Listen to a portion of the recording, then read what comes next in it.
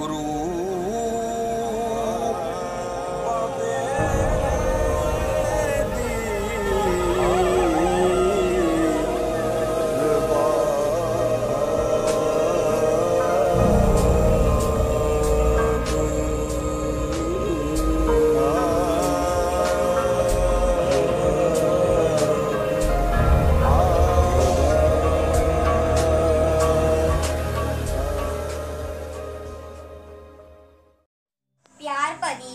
ਗੁਰੂ ਫਤਿਹ ਅਤੇ ਸਤਿ ਸ੍ਰੀ ਅਕਾਲ। ਸਾਰਿਆਂ ਨੂੰ ਜੀ ਤੁਹਾਡੇ ਰੂਪ ਰੂਪ ਕਰ ਰਹੇ ਹਾਂ ਥੋੜੇ ਜਿਹੇ ਵਿਚਾਰ ਬੱਚਿਆਂ ਤੇ।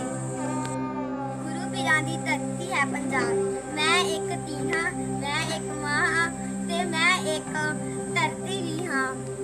ਤੇ ਮੇਰੇ ਉੱਤੇ ਲੱਖਾਂ ਨਿਯਮ ਅਤੇ ਲੱਖਾਂ ਹੀ ਪਾਪ ਹੋਏ ਹਨ।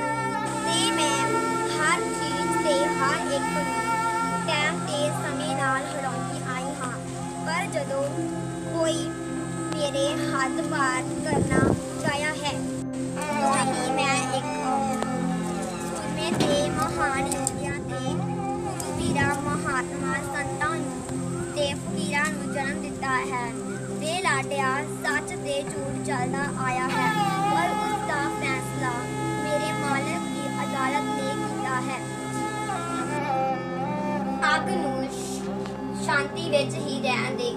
ਉਸ ਨੂੰ ਤੂੰ ਤੇਲ ਵਿਖਾਉਣ ਦੀ ਯੁਰਤ ਕਦੇ ਵੀ ਨਾ ਕਰੀ, ਕਿਉਂਕਿ ਜੇ ਇੱਕ ਵਾਰੀ ਭਾਂਪੜ ਮੱਚ ਜਾਵੇ ਤਾਂ ਭਾਂਪੜ ਮੱਚ ਜਾਵੇ ਤਾਂ ਘਰਾਂ ਦੇ ਘਰ ਤਬਾਹ ਹੋ ਜਾਂਦੇ ਹਨ। ਤੇ ਸੋਹਣਿਆ ਸਜਣਾ ਕਿਉਂਕਿ ਬੰਦਾ ਬੰਦੇ ਨੂੰ ਸਮਝੇ ਤਾਂ ਇਨਸਾਨ ਤੋਂ ਭਗਵਾਨ ਬਣਦਾ ਹੈ। ਜੇ ਜਾਣ ਬੁੱਝ ਬੁੱਝ ਕੇ ਬੇਵਕੂਫੀ ਕਰੇ ਤਾਂ ਅਗਲੇ ਕਈ ਜਨਮਾਂ ਤੱਕ ਸ਼ੈਤਾਨ ਬਣਦਾ ਹੈ।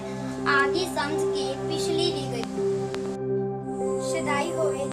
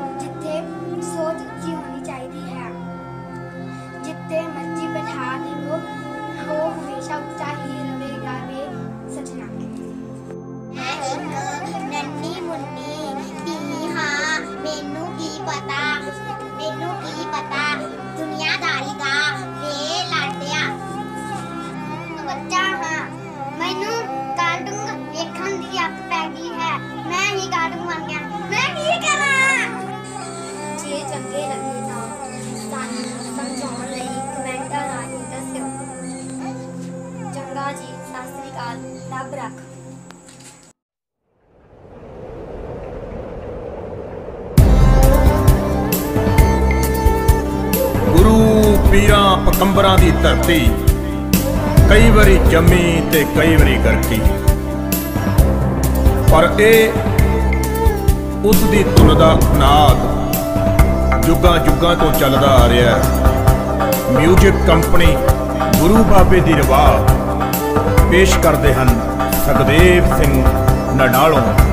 ਨਡਾਲੋਂ ਨਡਾਲੋਂ।